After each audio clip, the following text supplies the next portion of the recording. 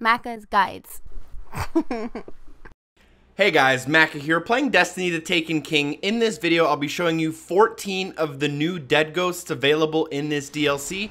This video does not include the three that are available in Crota's End Raid that were added in Destiny 2.0.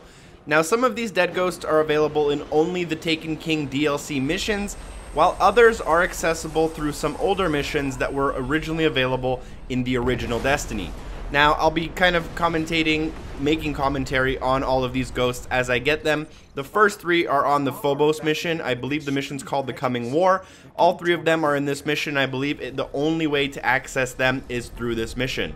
At the very beginning of the mission, right as you come forward, hook around to the right-hand side, fly up here. You might need to, it's a little tricky to get up here, but once you do, you're going to just want to jump into that ghost and grab it. You can't actually stand up where that ghost is. You'll need to kind of grab it as you hover. Now, this next ghost fragment, Cabal 4, is again in the Phobos mission, The Coming War. You'll come through this section with some windows up a kind of spiral ramp, uh, and eventually you'll see a door in front of you with some of the black holes that are coming through. And you'll see that there is a large Cabal uh, enemy that dies in front of you. And if you look right here behind this guy, it's really hard to see, but there is a dead ghost underneath a metal plate right there. You'll want to pick that up. Now the next one is a little bit later on in the mission. This is once we come outside after defeating one of the kind of minor bosses in the level. You'll be on this uh, high area and you'll need to jump down and then across to continue the mission. But before we do that, you'll want to jump down, turn around, and look underneath where we came from You'll notice that there's a metal beam with a curve to the left, and there's actually a dead ghost right on the corner where the two beams kind of meet. Now, you can actually get up there and stay up there with the dead ghost. I'll show you how to do that, but in this video, I just grabbed it as I was hovering near it. I'll show you right here, the jump is possible. You can make the jump in one smooth go, just like this, if you so want to. Um, so you'll want to keep that in mind. That was, I believe, I forget what the actual ghost fragment was called itself. Now the next three are on the Earth Mission Cayde's stash. I believe this one, which is Legends of Saint 14, you can get via patrol mode now that it's opened up a bit via the Devil's Lair. But uh, just for simplicity's sake, I'll be showing you it during the mission. Again, you might be able to get it through patrol or by other means, but there are more ghosts in this mission later on that you'll probably want to get anyways, so I recommend just grabbing the mission. As soon as you come through the kind of sewage bunker area, you'll come right here, right before the elevators. You'll want to jump up into this metal grating, and you'll notice that there's a power box kind of hovering above you. Pick up the dead ghost right there. Now, right after that, you'll enter in an elevator that'll take you to the top of the spire. As soon as you exit the elevator, you can get Ghost Fragment Old Russia 3 by jumping up to the very top of this area where you would be going anyways to complete your mission objective and then you'll notice that there is two large spires. There's a shorter spire and a taller spire. At the very top of the slightly uh, shorter spire, you'll notice that there is a dead ghost that I just shot right there. To get onto it, you'll want to jump on this beam. From this beam, jump on from the beam, jump onto the pole here, and then you'll jump onto the pole directly in front of you, and then you'll jump onto the even highest pole right in front of you. You can land on this pole, or you can grab the dead ghost as you're jumping or hovering near it completely up to you. You'll obviously grab it and uh, get the ghost fragment. The last one in this mission is kind of near the very end.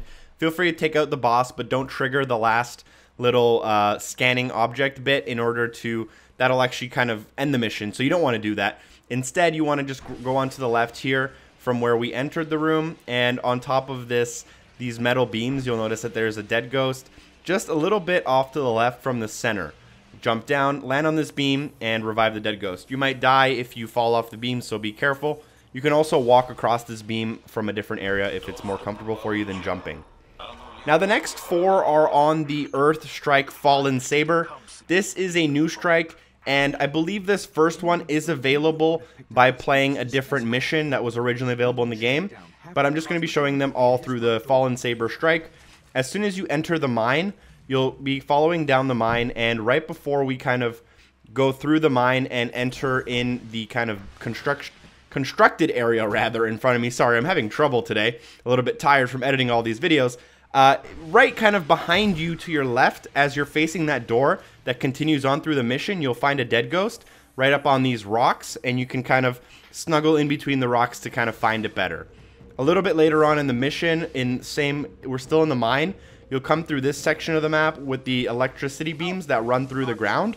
And what you're going to want to do here is dodge the beams a little bit better than I did. I took way too much damage on my way there. But you're going to want to go all the way to the front of the room, kind of uh, opposite of where you entered the room. Feel free to turn off the electricity beams before you do this so you don't take as much damage as I did. But what you want to do is actually get on top of this unit at the very back of the room, right in the middle, and you'll be able to find the dead ghost on the side. If you turn the electricity off, feel free to walk up to it from the side instead of jumping on top of it. Now we're in Bunker War 4, and this is still in that same uh, Fallen Strike. Uh, we're going to go up the uh, into this room, and you'll see a large angled window. And on that angled window, you'll have to jump up, land on the window, and then keep jumping your way up the window. This can be a little bit difficult to get on your first try, but keep at it. And you'll end up on top of these lights.